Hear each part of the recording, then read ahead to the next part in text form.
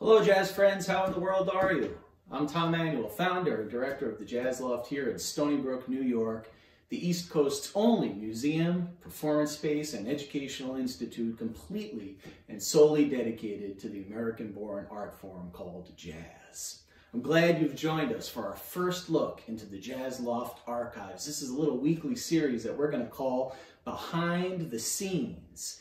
And I'm in a part of the Jazz Loft that has a unique little display here. And you might be wondering what in the world a 1930s Art Deco shoe store uh, foot pedestal from Thom McAn shoes has to do with jazz. But I'll tell you, it's a pretty unique story that this little display we have here tells quite well. It's the story of a man by the name of Ward Melville, who was the president of Thom McAn Shoes. He got off a train stop too early with his mom. He was headed to Port Jefferson, and mom fell in love with this place called Stony Brook Village.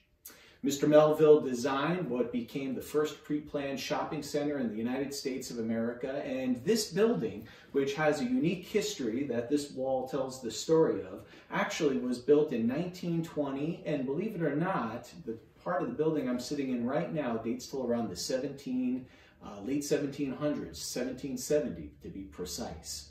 The part of the building you walk in when you come through our front doors was the first Stony Brook Firehouse built in 1920. And this part of the building that I am sitting in was referred to as the Old Stone Jug. It was uh, uh, belonged to the famous sea captain Jonas Smith and had a lot of different purposes when it was, believe it or not, about a quarter mile up the road behind where I'm sitting right now.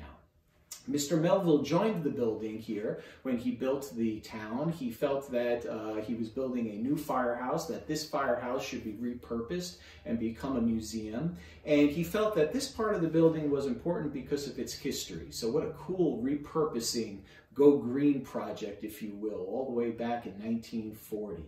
I have a little thing that's great here on display that is an almanac from the Suffolk Museum. That's what this building was first called when it was opened. It's from 1946 and it tells the story of the Suffolk Museum, chartered in 1942 to house and display items of local historical interest and it says how, although still in the embryonic stage, contributions from people of the surrounding villages have ranged from mounted ducks to ancient patchwork quilts, from ship models to paintings by the Mount family. But little by little, work and perseverance have brought order and organization to the heterogeneous collection. It goes on to talk about the two major departments of the museum, arts and natural history, the former consisting of an exhibition of the works of the paintings, mounts, and related material, and the latter a collection of local wildlife. Also present for inspection were a number of old Chinese costumes worn in the days when Stony Brook skippers used to visit the Orient, and some examples of the American Indian art.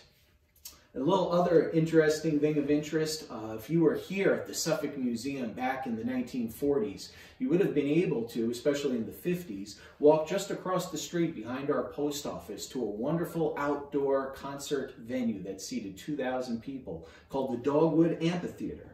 And we actually have on display many original programs from the Stony Brook Music Festival that happened throughout the 50s, 60s, and into the early 70s. And this is a great example on display currently. It's from July 11th and 12th, 1958.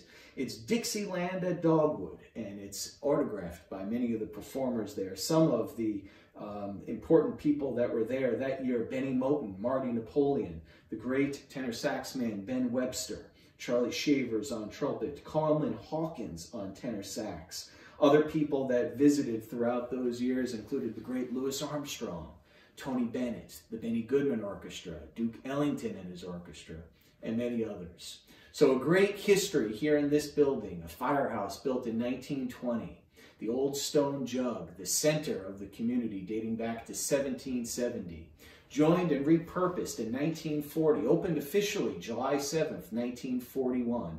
And here we are, 2020, 100 and 200 years later, respectively, as the Jazz Loft.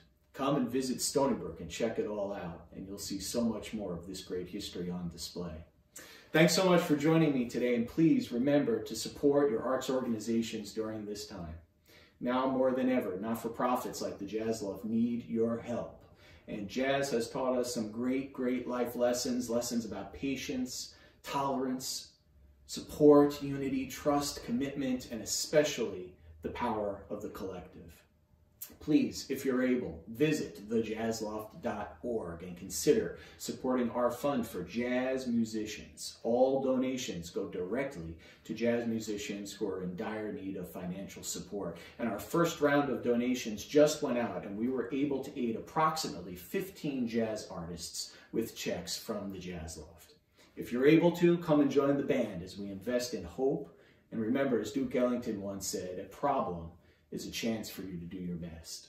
So please join me next week as we have another episode of behind the scenes. Until we meet again, take care and God bless. Bye bye.